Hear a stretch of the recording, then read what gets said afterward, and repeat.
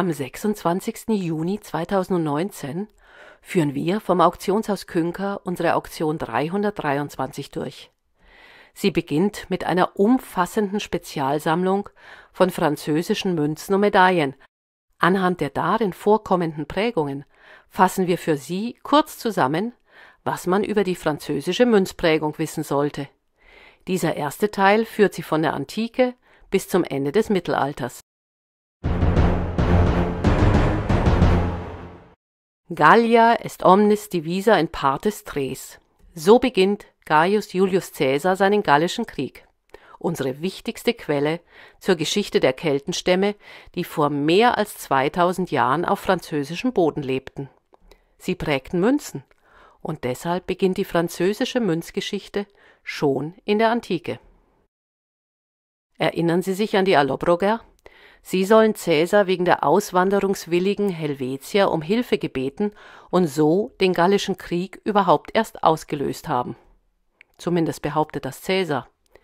Dieser kleine Obol, der auf der Vorderseite einen stilisierten Kopf und auf der Rückseite ein Rad zeigt, war Geld der Allobroger und entstand direkt nach dem Gallischen Krieg. Die Parisii siedelten sich etwa um 250 vor Christus auf der Seine-Insel an. Und natürlich prägten sie ihr eigenes Geld. Ihre geradezu abstrakt wirkenden Goldstatere gehören zu den schönsten keltischen Münzen.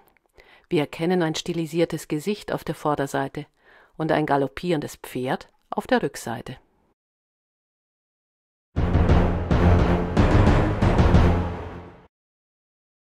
Nach den Kelten kamen die Römer. Auch sie prägten Münzen in Frankreich, und zwar sehr viele. Seit Augustus gehörte Lugdunum, das heutige Lyon, zu den wichtigsten kaiserlichen Münzstädten. Und das war Teil der Politik. Augustus gab nämlich offiziell einen Teil seiner Macht dem Senat zurück. Natürlich behielt er selbst genügend Machtmittel, um am längeren Hebel zu bleiben. Wie er das machte, dafür ist die Münzprägung ein gutes Beispiel. Offiziell übertrug Augustus dem Senat mit großer Geste die Kontrolle über die römische Münzstätte. Doch in Rom entstand ein Bruchteil der Münzen, die für die Bezahlung der Legionen notwendig waren. Die wurden unter kaiserlicher Kontrolle in den Münzstätten der Provinz hergestellt, so vor allem in Lugdunum. Ob aber diese Epoche der Münzprägung tatsächlich zur französischen Geldgeschichte gehört, darüber kann man sich streiten. Der Sammler, dessen Sammlung in Auktion 323 aufgelöst wird, entschied sich, keine römischen Münzen in seine Sammlung aufzunehmen.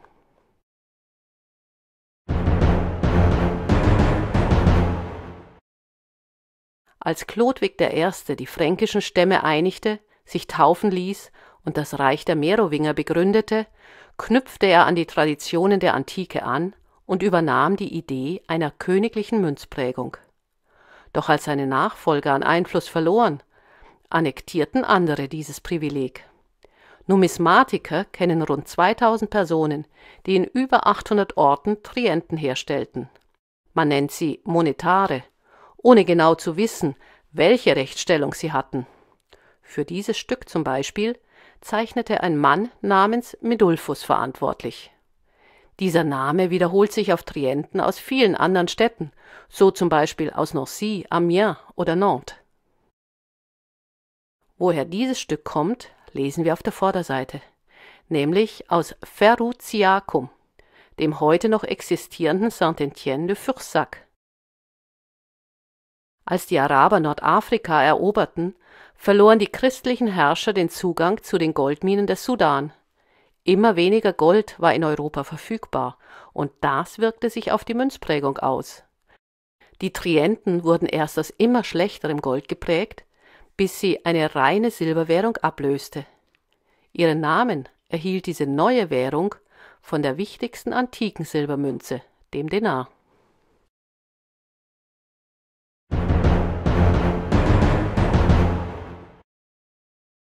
Und damit war die Zeit reif für eine Münzreform, die zu Unrecht immer wieder mit Karl dem Großen in Verbindung gebracht wird. Schon sein Vater Pippin erließ ein Edikt, in dem er Gewicht und Feingehalt der neuen Denare festlegte. Karl der Große modifizierte die väterliche Münzordnung und erklärte den Denarius Novus in seinem ganzen Reich für verbindlich. All diese Denare zeigen auf der Vorderseite den Königsnamen, auf der Rückseite den Prägeort. Karl und seine Nachfolger profitierten davon, dass bei der Stadt Mel ergiebige Silberadern gefunden worden waren, die unter den Karolingern systematisch ausgebeutet wurden.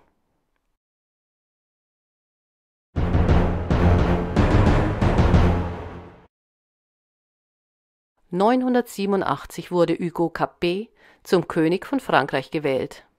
Er war damals nur ein mächtiger Adliger von vielen, und deshalb teilt sich mit Hugo Capet die französische Münzprägung in zwei Zweige. Wir sprechen von dem Monnaie Royal, also den königlichen Münzen, und den Monnaie Feodal, also den Münzen, die von den Fürsten herausgegeben wurden, die gegenüber dem französischen König eine lehnsrechtliche Verpflichtung hatten. Das ist eine königliche Münze, ein Denier, den der französische König Philippe Auguste prägen ließ. Und diese Münze stammt von seinem bekanntesten Gegenspieler, dem englischen König Richard Löwenherz. Allerdings ist dieser Denier keine englische Münze. Richard gab sie als Graf von Poitou heraus. Als Graf von Poitou war selbst der englische König ein Lehnsnehmer des französischen Herrschers. Und das macht den kleinen Denier zu einem perfekten Beispiel für die Gruppe der Monnaie Feudal. Ludwig IX. ist bekannt wegen seiner zwei aus der Zeit gefallenen Kreuzzüge nach Tunis und seinem Beinamen der Heilige. Numismatiker schätzen ihn dagegen als realistischen und weitsichtigen Wirtschaftspolitiker. Auf ihn geht eine Verfügung aus dem Jahr 1262 zurück, dass das königliche Geld in ganz Frankreich akzeptiert werden müsse. Und er schuf mit dem Gros Tournois eine Münze, die sich in ganz Europa verbreiten sollte. Grund dafür waren die Messen in der Champagne, wo Bankiers aus ganz Europa ihre Geldgeschäfte bereinigten und die neuesten Ideen mit nach Hause nahmen. So beeinflusste der Gros Tournois die Turnosen des Rheinlands genauso wie den Prager Groschen. 1285 kam ein Mann an die Herrschaft, der als der königliche Münzfälscher in die Geschichte eingegangen ist. Philipp IV., genannt der Schöne. Wir sehen ihn auf dieser Goldmünze. Es handelt sich um einen Florin d'Or à la Reine. Auch wenn diese wohl zu Geschenkzwecken hergestellte Münze prachtvoll ist.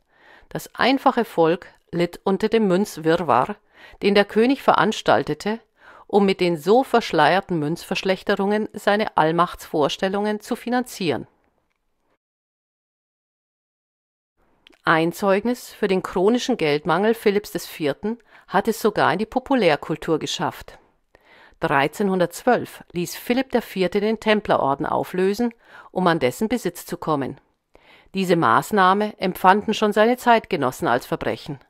Dass das Geschlecht Philipps innerhalb kürzester Zeit im Mannesstamm ausstarb, galt als seine göttliche Strafe dafür.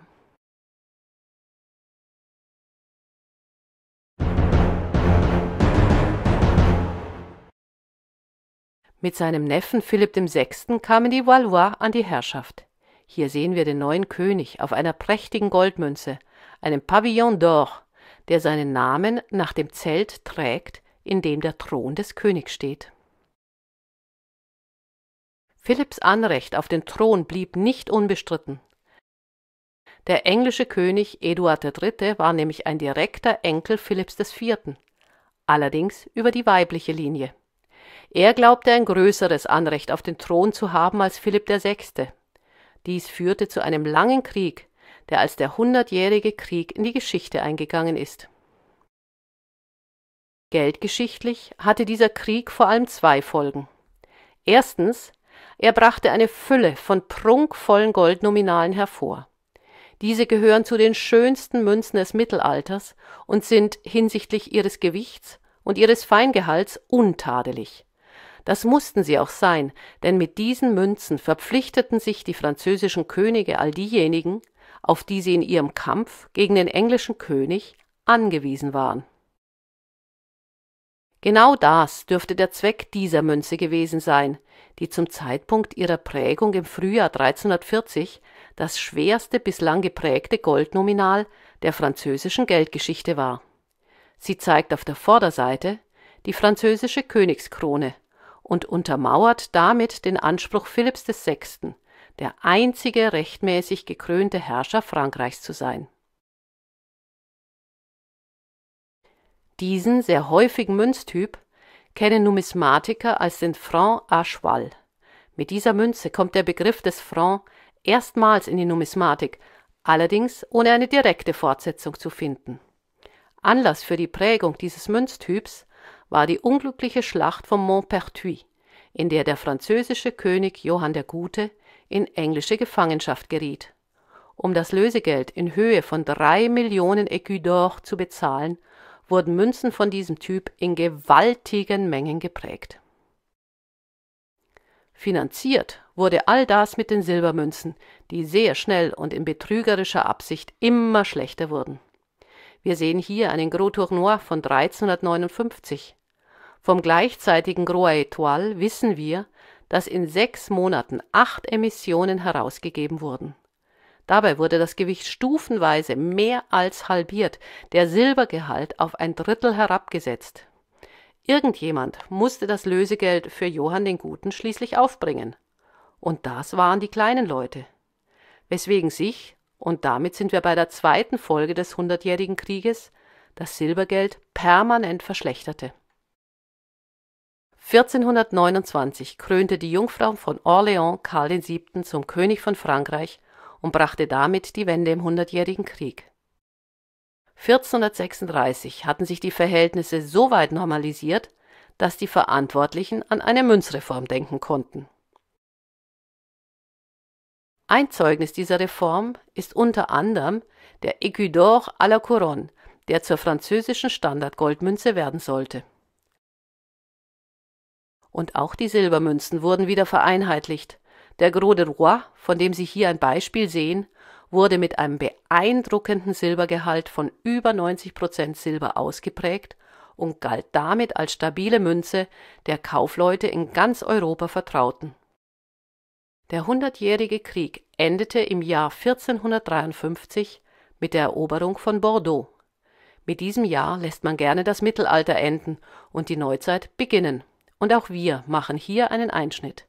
Die Geldgeschichte der Neuzeit zeigen wir Ihnen in einem zweiten Film. Wir vom Auktionshaus Künker freuen uns, Sie zu unseren Sommerauktionen 2019 einzuladen. Sollten Sie weitere Fragen haben, zögern Sie nicht, uns zu kontaktieren.